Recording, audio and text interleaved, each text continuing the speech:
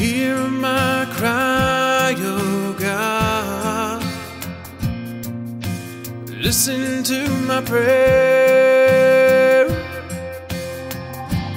from the end of the earth.